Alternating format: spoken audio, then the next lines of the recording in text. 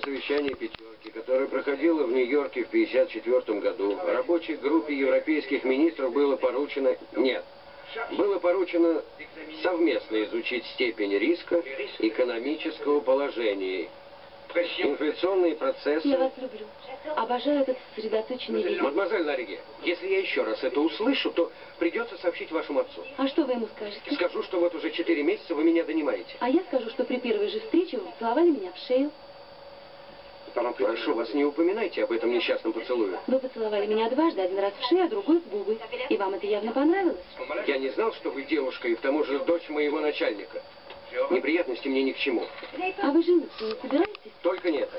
Как вы разволновались? Я всегда нервничаю, когда вы здесь. Правда? Вы мне действуете на нервы. Сядьте. Пишите. Значит так. Рабочей группе европейских министров было поручено проанализировать степень риска экономического положения. Инфляционные процессы. Сейчас же застегнитесь. Э, на чем я остановился? Инфляционные процессы. Сейчас же застегнитесь. Это я вам сказал. Даже пупок виден. Вам не нравится? Инфляционные процессы, замедление экспансии, все это в настоящее время вынуждает нас вести жесткую финансовую и кредитную политику. Что с вами? Карандаш потеряла. Вы не поможете вытащить? Возьмите другой. Не могу, щекотно.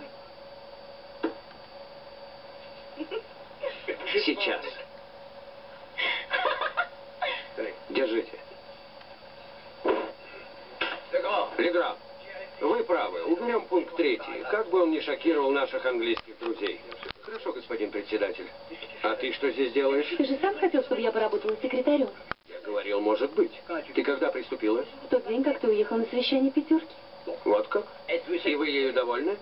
Ну, я... Не бойтесь, скажите честно. Она старается. Что ж, я рад. Молодец.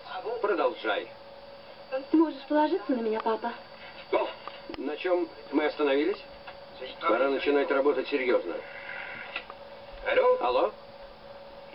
Привет, это я. Привет. Я же тебе говорил. Никогда не звонить мне на работу. Ты же сам дал мне этот номер. Послушай, я занят. У меня люди. Ладно, иди. Значит, в субботу едем к Давид? Конечно. Заеду за тобой в 12. Повезло ей.